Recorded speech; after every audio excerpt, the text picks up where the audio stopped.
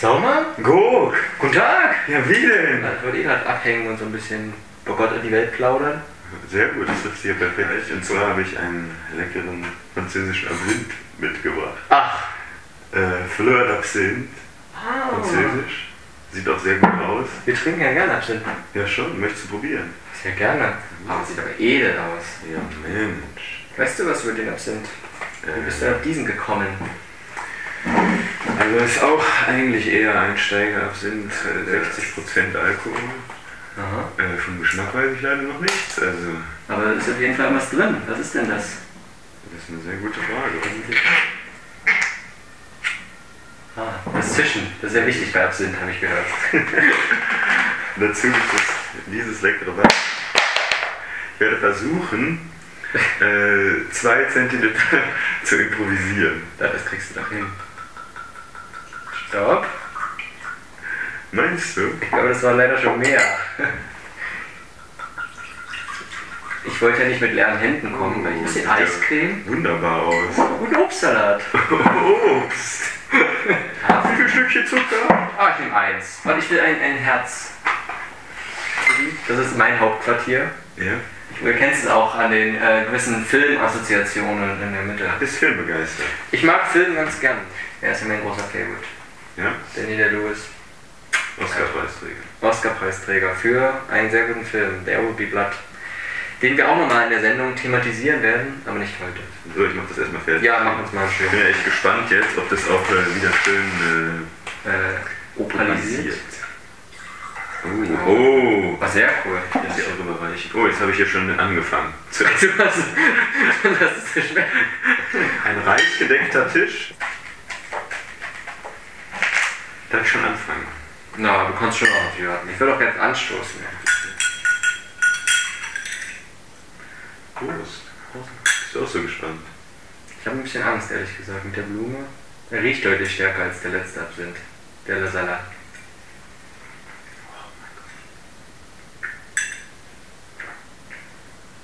Eine Geschmacksexplosion. Ja. Ja, du kennst die Winfrey. Ja, da haben einige sich schon die Ohren abgeschnitten. Hm. Goethe hat Absinth beim Schreiben getrunken. Goethe. Ich habe jetzt wieder angefangen, Goethes Faust zu lesen. Aha, ja. Also der erste Teil. Äh, also nicht nur äh, in Anlehnung an deine Schulzeit, sondern aus reinem Interesse. Ja, ich muss sagen, zu meiner Schulzeit ähm, war Goethes Faust für mich eine kleine Offenbarung. Mhm. Pantheismus. Naturreligiosität. Genau. Gott in der Natur. um noch kleines Faust, äh, kleine Faustanekdote zu bringen. Ich dachte mir immer so, eigentlich, ich, ich möchte ja auch intelligent rüberkommen, das fällt mir nicht so leicht, darum muss ich jetzt ein bisschen nachhelfen. Darum habe ich immer einen Vierzeiler aus Faust äh, auswendig gelernt. Wenn du mir vortragen möchtest, bitte, ich bitte darum. Da hast du auch der Mephisto, also wieder unser Grundkins letztlich. Ich bin ja mal gespannt, da trinke ich aber Absinth bei. Es ist der Prolog im Himmel, Mhm. die letzten vier Zeilen. Mhm. Von Zeit zu Zeit sehe ich den Alten gern und hüte mich davor, mit ihm zu brechen. Es ist gar hübsch, von einem großen Herrn so menschlich mit dem Teufel selbst zu sprechen. Hast du dich mit der Mephisto-Figur identifiziert? Der Mephisto und ich, wir haben einiges gemeinsam. Das ist auch dieser Intrigant. Kleiner Typ mit, äh, genau, der Böse, der, was, die Kraft, die man Ich bin ein Teil von dieser Kraft, die Böses will und, und Gutes schafft. Also Mephisto habe ich leider noch nicht gelesen, das Buch von Klaus Mann Das über habe ich gelesen, auch analysiert. Also den Film, muss ich sagen, fand ich großartig. Und ich habe jetzt dazu auch noch das äh, Theaterstück mit Gründgens mir angeschaut. Im Vergleich zu Klaus Maria Brandauer, der den Mephisto mimt als Gründgens, ist, äh, würde ich sagen, ist er deutlich äh, stärker in dieser kurzen Szene, die man da hat, als, ähm, der, echte, als der echte Gründgens. Ich würde jetzt auch gerne die äh, Szene mit dir mal anschauen. Gerne. Einigkeit und Stärke! Jawohl! Einigkeit und Stärke! Laut und normal! Einigkeit und Stärke! Wir folgen dem Führer! Blut ist ein ganz besonderer Saft. Lass in den Tiefen der Sinnlichkeit uns glühende Leidenschaften stehen. Euch ist kein Maß und Ziel gesetzt. Beliebt's euch überall zu naschen, in Fliehen etwas zu herrschen. Bekommt euch wohl, was euch ergänzt. Nur greift mir zu und seid nicht blöde. Du hörst ja von Freud ist nicht die Rede. Den Taumel weich nicht, den schmerzlichsten Genuss, verliebtem Hass, erquickendem Verdruss. O glaube mir, der manche tausend Jahre an dieser harten Speise kaut, dass von der Wiege bis zur Bahre kein Mensch den alten Sauerteig verdaut. Glaub unser einen, dieses Ganze ist nur für einen Gott gemacht. Er findet sich in einem edlen Glanze. Uns hat er in die Finsternis gebracht. Einzig Tag und Nacht allein ich will. Das lässt sich hören. Doch nur vor einem ist mir bang. Die Zeit ist kurz, die Kunst ist lang. Ich dächt, ihr ließet euch belehren. Assoziiert euch mit einem Poeten. Lasst den Herrn in Gedanken schweifen und alle edlen Qualitäten auf euren Ehrenscheitel häufen. Des Löwen Mut, des Hirsches Schnelligkeit, des Italieners feurig Blut, des Nordens Dauerbarkeit. Lasst ihn euch das Geheimnis finden, Großmut und Arglist zu überwinden, um euch mit warmen Jugendtrieben nach einem Plane zu verlieben. Möchte selbst solch Herrn kennen, würd ihn Herrn Mikrokosmus nennen. Was bin ich denn, wenn es nicht möglich ist, der Menschheit Krone zu erringen, nach der sich alle Sinne drängen? Du bist am Ende, was du bist. Setz dir Perücken auf von Millionen Locken. Setz deinen Fuß auf ellenhohe Socken. Du bleibst doch immer, was du bist.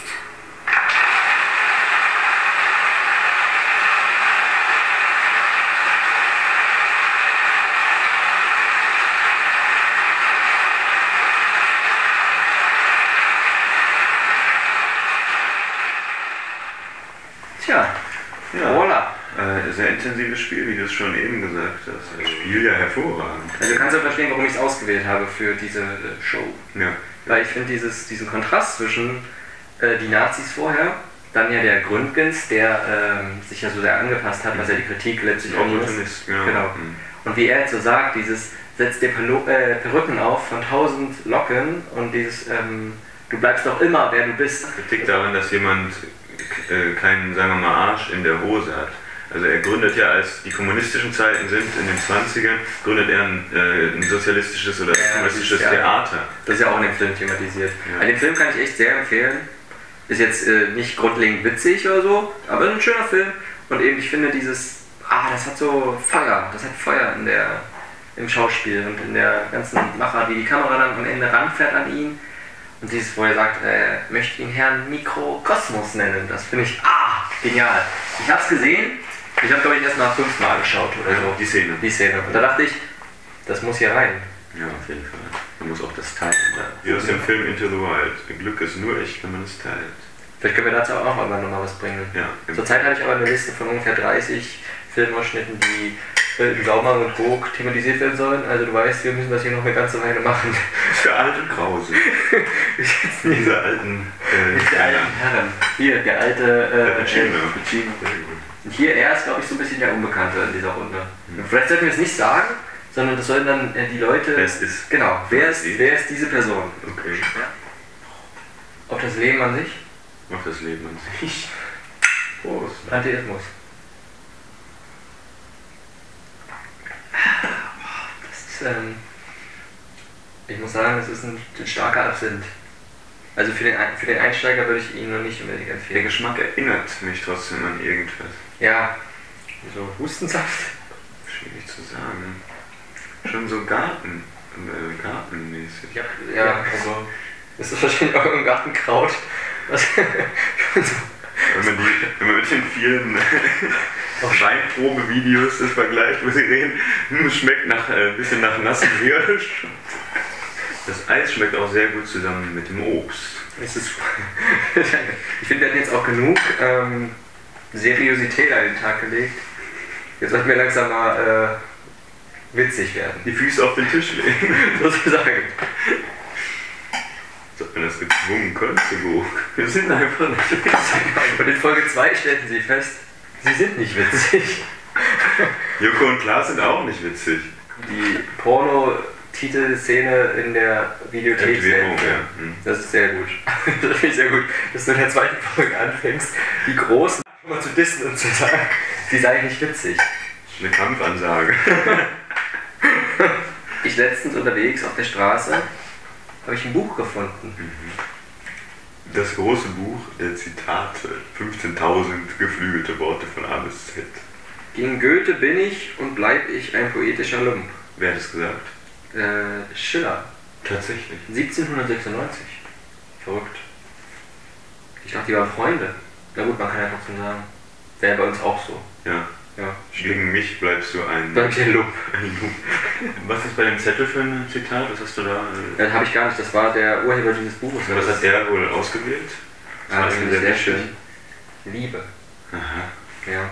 Er hat wahrscheinlich einen Liebesbrief verfasst an sein Mädchen. Er wollte sein Glück äh, an jemand anderen weitergeben. Vielleicht auch in Anlehnung an ähm, das Leben der Amelie. Ist das nicht so ähnlich? Ja, stimmt, da finden sie auch sowas. Stimmt. Finden Sie nicht diese. Diese kleine Box. Ich bitte dich darum, ein äh, Liebeszitat. Und darf ich es mit Charlie Wagner Stimme vorlesen? Ja, ich bin auch dafür.